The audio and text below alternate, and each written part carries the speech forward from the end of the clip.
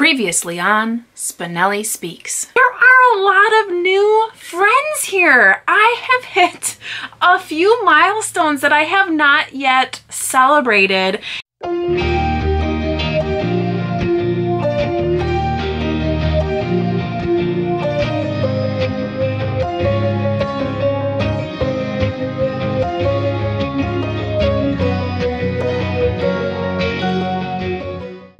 Hi everyone, Danny here. Welcome back to my channel. Today is Thursday, which means it is time for a rapid review. A rapid review is a book review that I do in 60 seconds.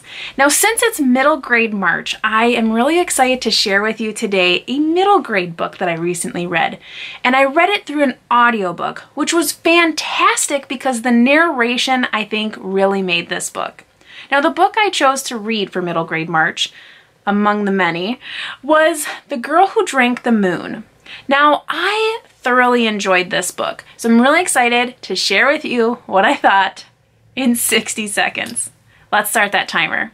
So the narration of this book is really interesting because there's two different narrating voices. There's one that is kind of telling a story about a witch in the woods that is stealing children. And then the other is the actual narration of the full book. Now, the witch that is stealing children in the forest is actually the good witch. There's another witch that we find out much later who is not kind. But seriously, this village sacrifices the youngest child in the village every year to this witch in the forest. But the witch in the forest is basically saving these children because she's like, this village is just giving these children to the forest. They're gonna get eaten by wild animals. Yet she keeps Luna, who drank some of the moon and is full of magic. We also get to meet Glurk, who is the bog or the swamp monster. He's my favorite. And then there's this little dragon. He's so cute.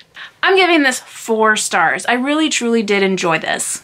Well, for my first book read in middle grade March, I'm pretty pleased. I was very happy to be able to finish this book. I love the narration, like I said, and I hope that if you need any more books for middle grade March, you'll think about reading The Girl Who Drank the Moon. Well, until next time, I hope you're reading something great, taking care, and staying safe, and you know how it goes. Happy reading. Bye!